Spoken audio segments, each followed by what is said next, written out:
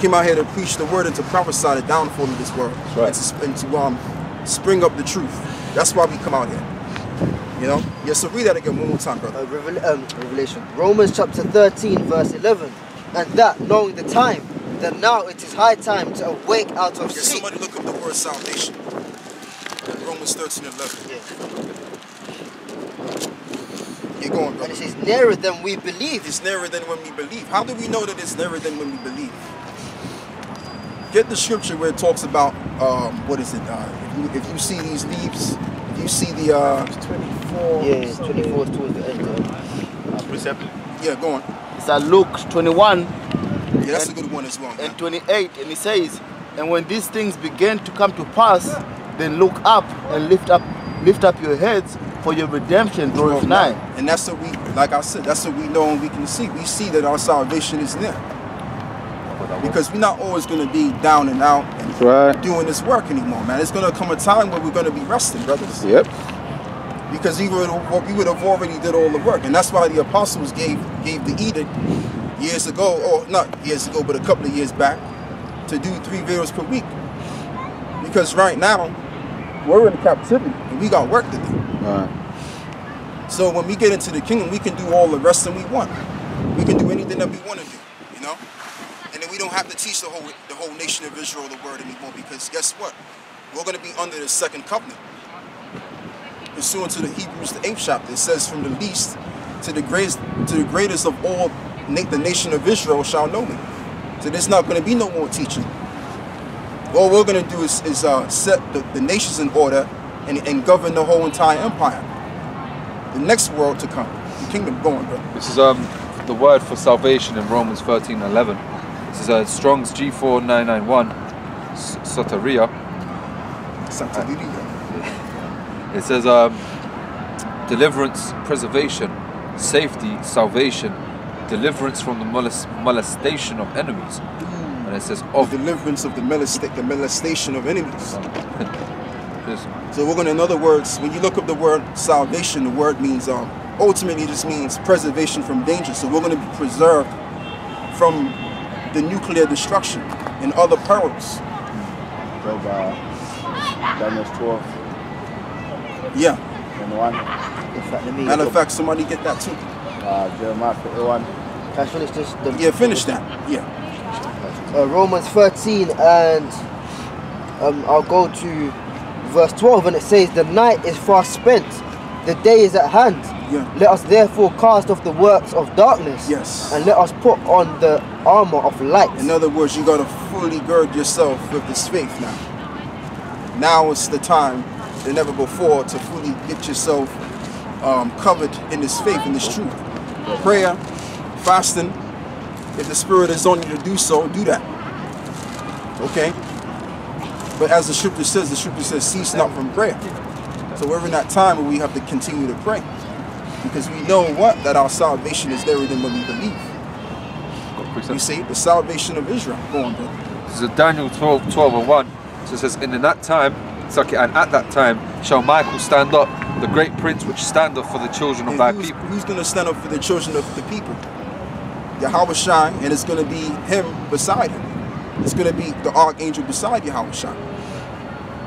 Fighting for the nation of Israel, the elect, to deliver them. Going, um, and deliver thy people, and there shall be such time of trouble. It's lucky there shall be a time of trouble, such as never was there since, such as never was since there was a nation, even to that same time. And at that time thy people shall be delivered. and everyone- at that time shall thy people be delivered. And it also talks about in the book of Isaiah 33, correct me if I'm wrong, but it talks about the time of Jacob's trouble.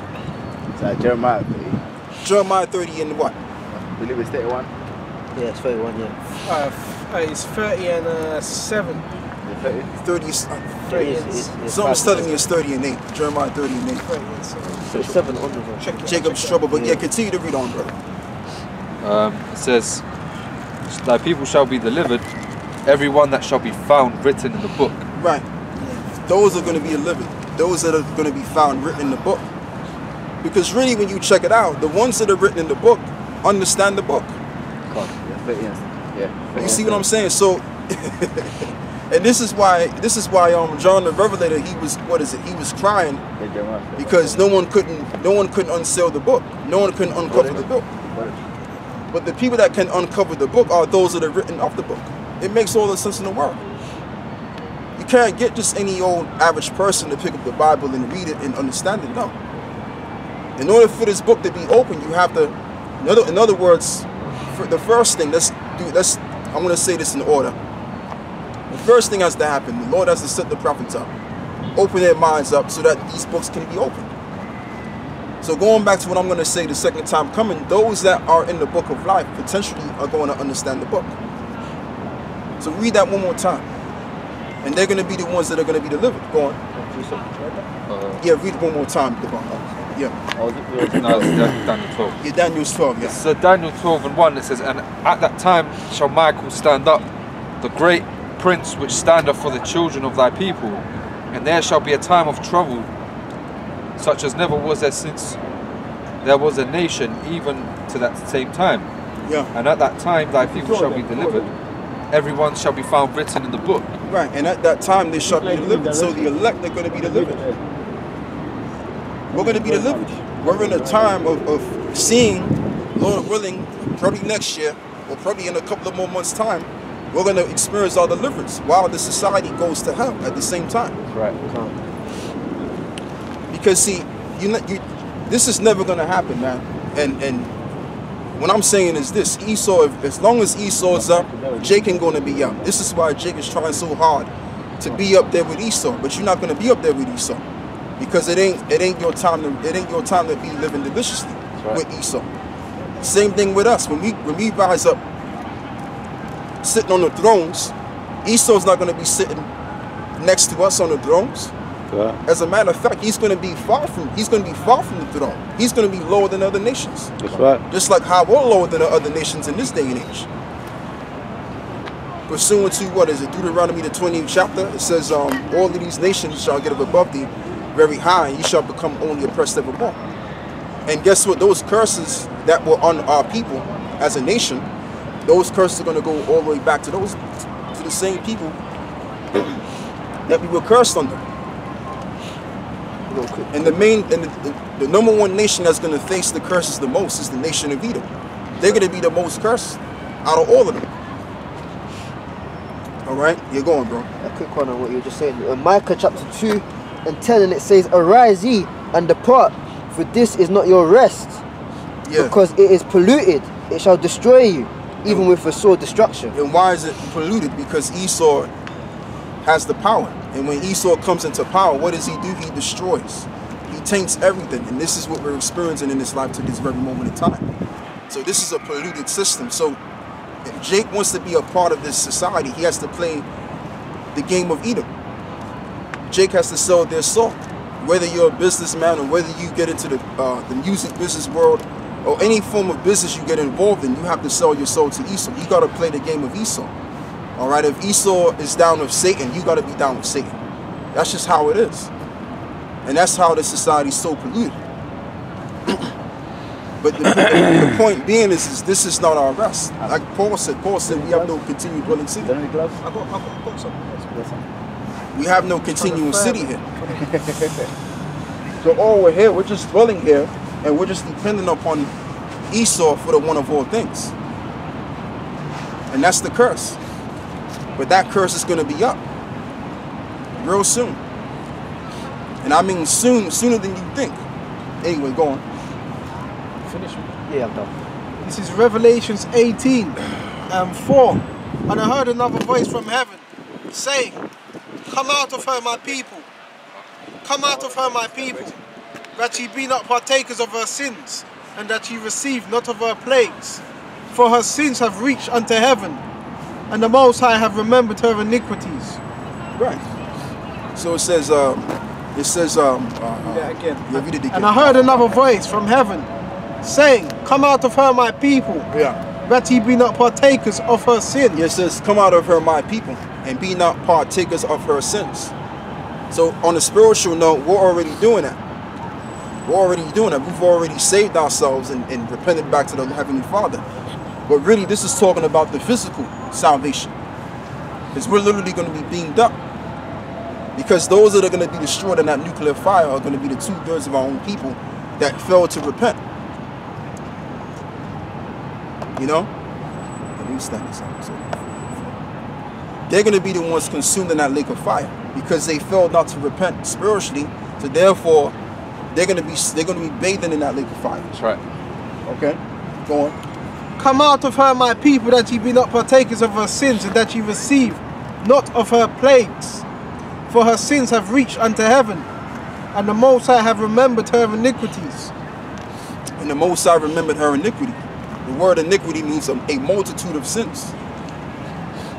So all of the sins that were committed ever since the time Esau began his rulership, it's all been recorded. All right, the heavens are recording man's handiwork and what they've been doing, good or bad. So um, let me see what else we can get. Get me uh, get me um. Oh yeah, Isaiah 55 verse 11.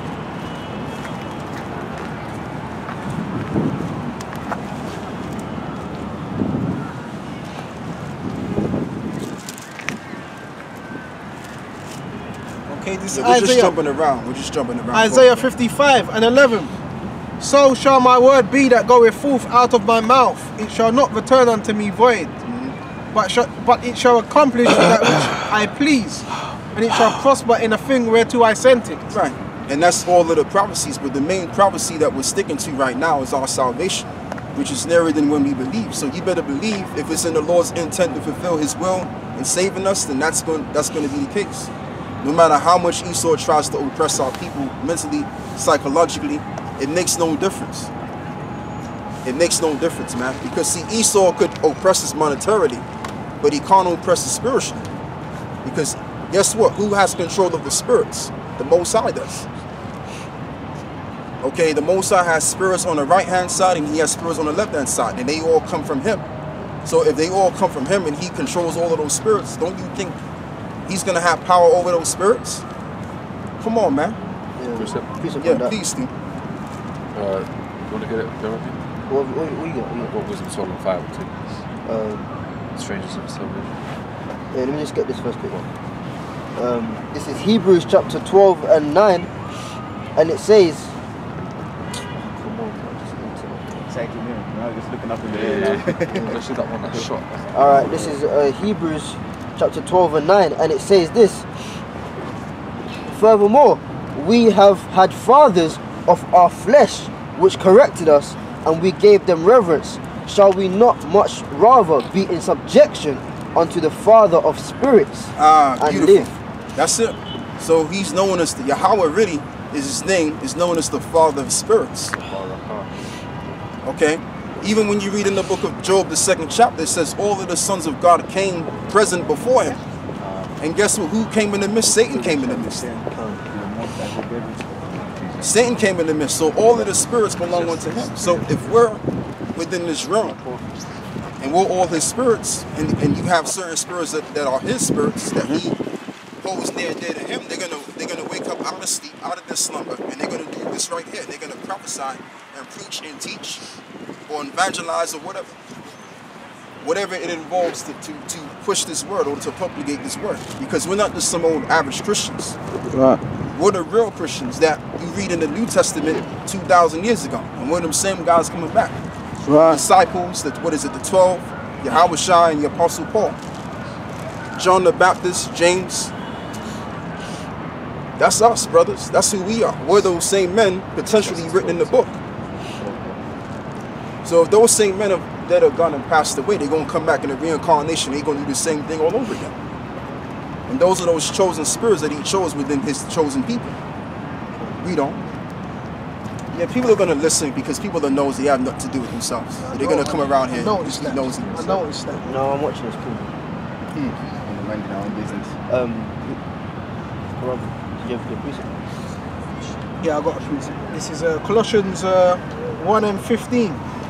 Who is the image of the invisible power, the firstborn of every creature? Right. For by him were all things created that are in heaven and that are in earth, visible